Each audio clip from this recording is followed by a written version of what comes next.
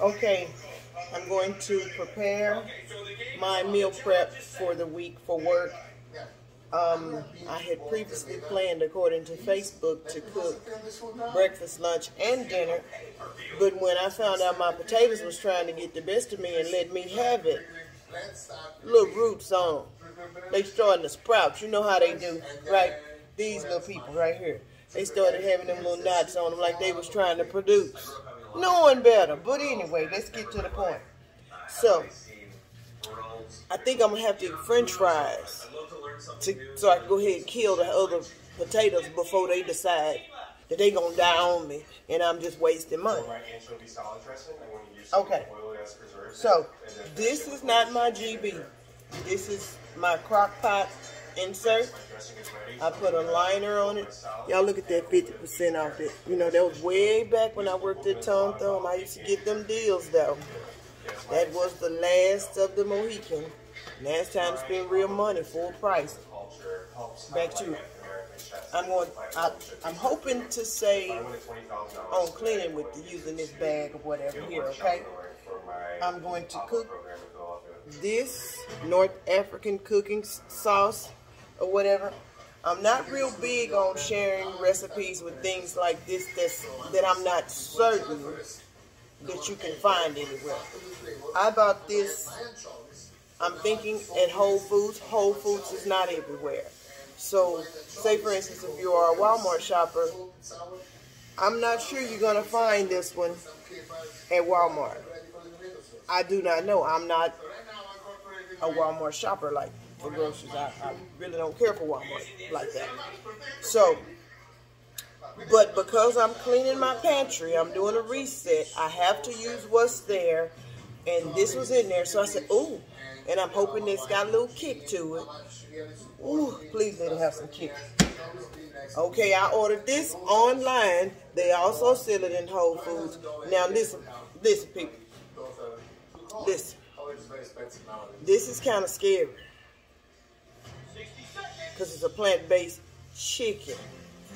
Which means it's not a bird. It's something that has been created. So, this said to add some meat. It, it suggested lamb. But I'm going to cook this separate on the stove, right? Everything else will be going in the crock pot, okay? So let's move on. The African, um, North African sauce also said to add vegetables. I have poblano peppers.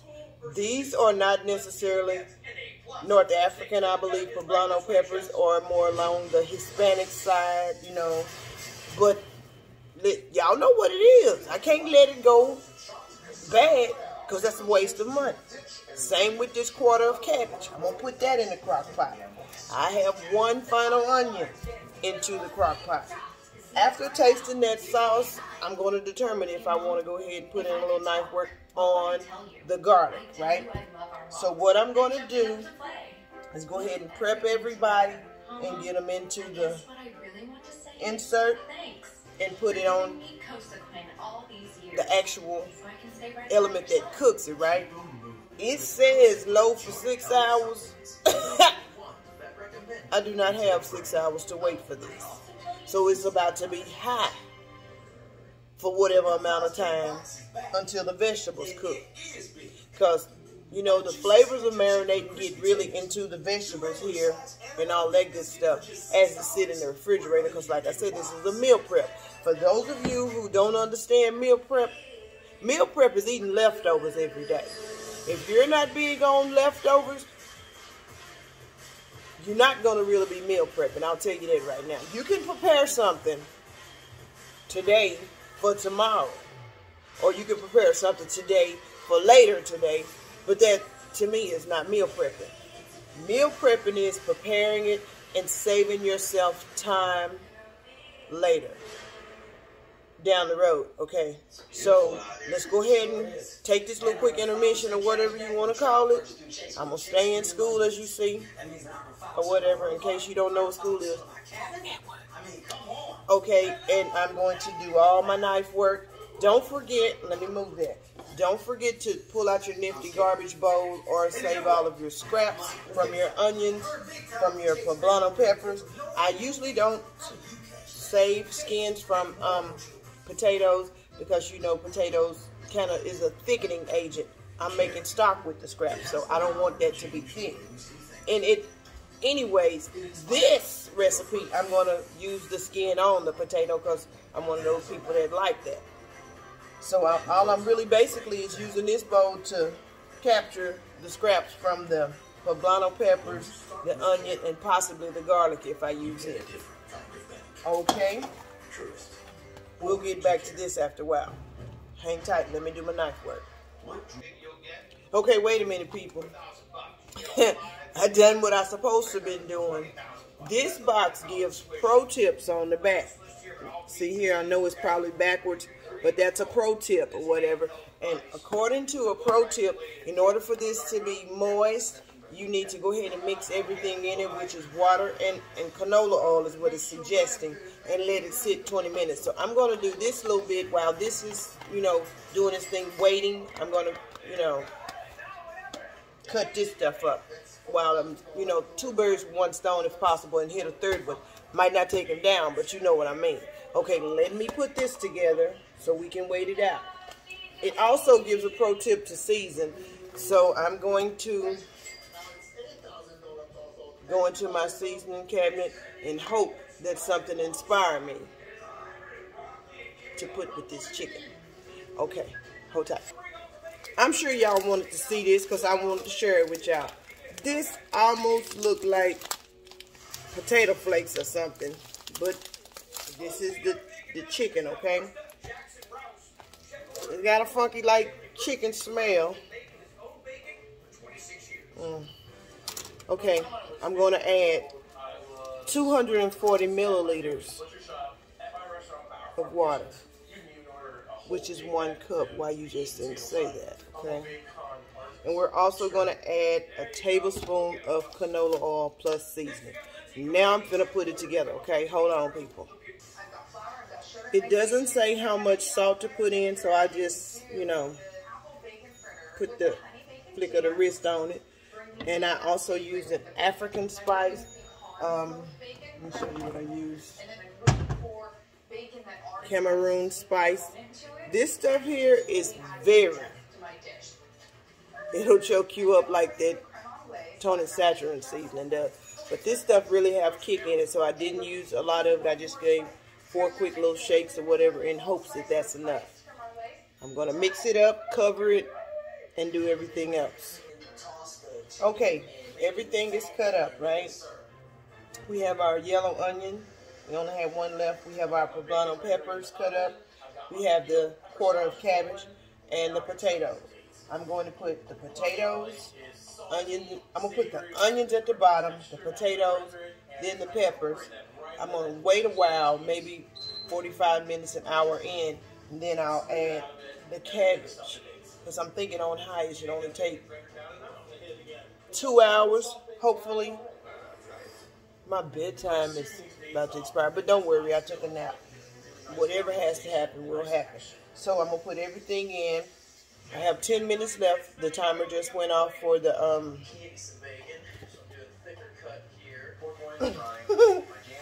so now we're just gonna put everything in, okay? Except the cabbage. We're going to put our yellow onion at the very bottom. Onion always goes first is what they say, okay? Matter of fact, I'm going to put the poblanos down at the bottom too. Right? Okay? We're just spreading everything in evenly as we can. We're going to put the potatoes in. We're following the recipe on the sauce jar. So it said add your vegetables to the crock pot, top it with this and one cup of water. I'm going to pour this in. You know I'm to put the water in here. I want every drop out because I don't know about this stuff. And put it, ooh, I got muscles.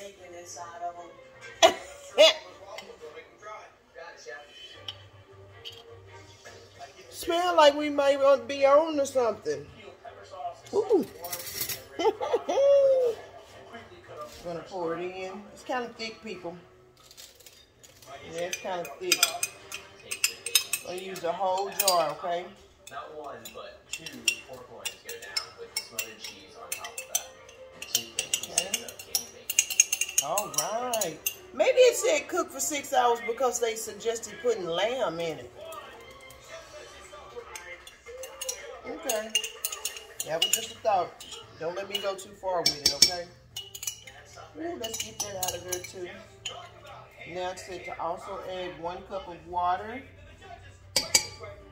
This stuff is thick. Okay, let me get my water. At Fidelity, your dedicated advisor will help you create a comprehensive wealth plan for your full financial picture with the right balance of risk and reward. So this is a nine ounce jar. So how many ounces is in a cup? All right then.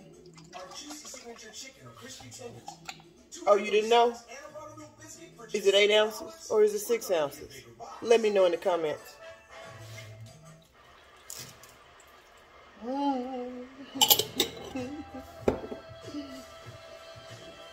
It's gonna be good, bro. Okay. Yes. Let me see if I can give you all a close-up. Let me open that back up because I need to put that spoon there. I'm going to open it up, I mean bring it up close so you all can see it because I'm about to insert. I'm going to put the top on it, turn it on high, and pray that it be ready within hour and a half, two hours. Hold tight. Okay, so I pulled out my cast iron skillet. Thanks, Rose from Tom Thumb, many years ago. Okay, and that's another story another time. This here stuff is my plant-based chicken mixture. It kind of puts me in the mind of Krabby Patties. And for those of you who do not know what Krabby Patties are, I call salmon patties, jack mackerel, or whatever, if you will, Krabby Patties. Because that's what they had at the Krusty Krab on SpongeBob. So, what I'm going to do is hopefully get anywhere from 10 to 12 same portion size close to anyway because I'm not measuring. I need to invest in a smaller ice cream scoop. Because usually I would use this but I'm thinking it's a little too big for this. Um I'm not going to use this. I want a smaller one. But anyway so we're going to try to go for 10 meatballs it said to put it in a put the oil in the pan I'm making meatballs. So we want to put the oil, then put the meatballs down and just cook them until they brown. It says nothing about two to three minutes per side or put a lid on nothing. It, it seems really simple. And for those of us that see that little Dorothy, that's my sister, yeah. Okay. Vegan. Okay. Anyway, it looks like it's telling us that we get 20 grams of plant protein per serving. And according to this um, nutrition information, it says it's four servings per box. But no actual measurement for me, so I'm going to do what I choose to do. Like I said, I'm going to put, hopefully, 10 so I can have two meatballs per day during the week if I happen to like them after they cook. If I do not like them, that's one piece of corn I can save. Okay, so let me get to this so we can get it here. Hold tight. Okay, so what I ended up doing, I did use my scooper. I did five even ones, okay? For certain we will have five even ones. And then with what's left, I just evenly distributed, you know, for five more smaller balls. We're putting them down in that hot skillet in that oil. And we're just gonna hmm, hope for the best, people. Okay, then we're gonna wash the little dishes. Don't forget the tip of always having your dishwater ready because I'm telling you, meal prep, you're washing dishes all day. The whole time that you're working, you're washing dishes. I'll say it that way. Okay? Did you have your water today?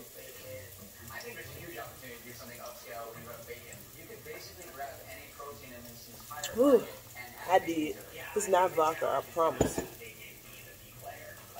Hold tight. Okay, it says to cook these balls on um, medium heat. Make sure you um keep them from sticking. These joints are sticking, okay? I know nothing about these meatballs. These plant balls, yeah. So I'm just gonna cook them on all sides. It's not just about getting ahead. Okay. Oh, and I don't know. I know that I didn't mention.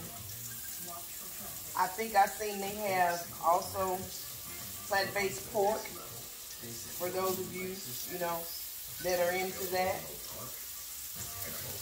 We cut Willie out of my diet a long time ago. Health issues, but anyways. Okay, so they seem to be sticking. I'm going to put a little more juice on them, okay? Because it's my business. I want to, and I'm going to. This is olive oil, okay? And I'm going to turn it down some more. So because I'm thinking I want to turn on my vent hood, I'm not going to be rude and make you all listen to that noise. I'm going to wait till they get completely done and show you the results. Hold on.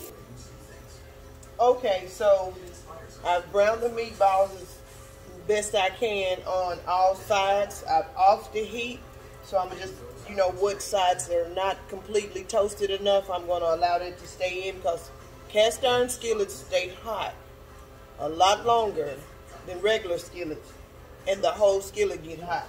So don't come being cocky and thinking that you can touch this handle without your friend, because you're going to need a friend. This whole entire skillet is hot. So like I said, I'm going to let that sit there or whatever and do what it do. In the meantime, I guess we'll just wait. Oh, this is totally not related to my chicken balls. I made chewy granola bars for breakfast for this week's meal prep. I am now cutting them since they have cooled completely. I'm going to go for 16 squares so that way I can eat two every day, maybe three squares every day. Um, so I'm cutting, I cut it in half, cut the half and half, half and half, and the same thing the next way. That's it for this little bit. I was not even supposed to be giving y'all that in the middle of this video. Sorry, not sorry. okay, so this has been in here for an hour and a half. We are going to mix it around to see about how much longer we need to cook. Like I said, I'm cooking it on high. Okay? On high temperature. Let's check it out. Smells like I'm gonna be eating good. Oh yeah. Oh, it's cooking. Let me get down in here and show you people what we got grinds on, okay? Ooh, that looks good.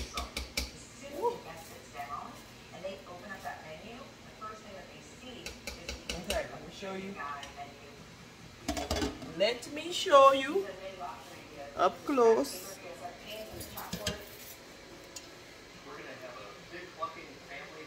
See that? Hour and a half. Let me see. Let me work this camera the right way. Y'all, I'm new at this. Hold tight. So I'm thinking I'm going to continue cooking this for another 30 minutes to an hour after a fork test, what I done, you know, before I came back. The potatoes are still a little bit hard, which I expected, so I'm going to go ahead and cook this still on high for an additional 30 minutes to an hour.